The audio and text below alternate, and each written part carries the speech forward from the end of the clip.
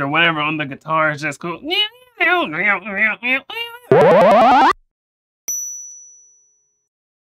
All right, today I'm checking out Primus. I'm listening to the song John the Fisherman. Let's get into it.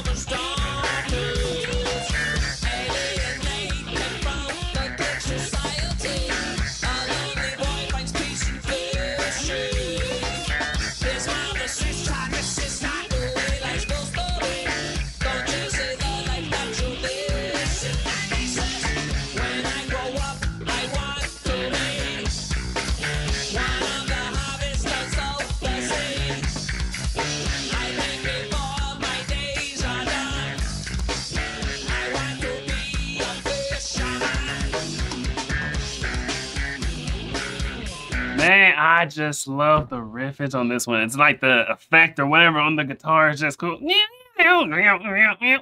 just got a cool sound. A really cool sound. That's definitely my first love with the whole song. Then the vocals come in. The vocals are like kind of weird, kind of cool and whatnot, but it's really it's really the riff. The riff on this one, it just, you know, it tickles me in, in such a way. I don't know how you describe these things, but you know, if it resonates with you, it does. It just does. And the riff here, the whole time, really, just the, the overall sound of the music, the sound of the guitar. It's not even one particular riff. It's really just the, the whole sound they have going on with this song. It's fire.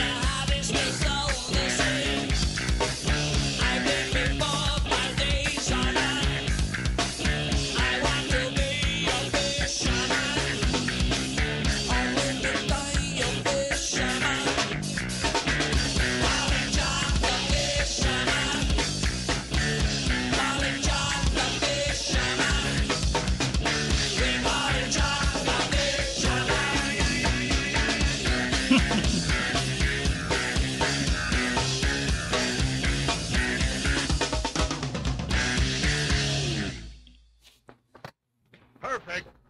That was good, dang. That was a good song. It was a banger, and yet it was still fun because like the vocals added a layer of you know almost silliness, goofiness, funness, but not like overboard, corny, cheesy. It's just like you know the vocals were we call I'm trying to miss a man.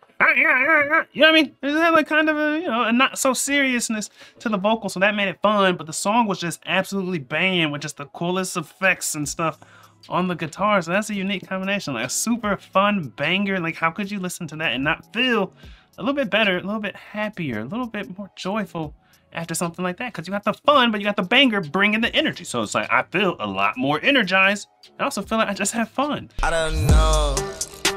Mm-hmm. Tell me, man, what do you know? What do you know? Me and my boys on the road. Who to go? She told me, boy, you to go. Like I don't know.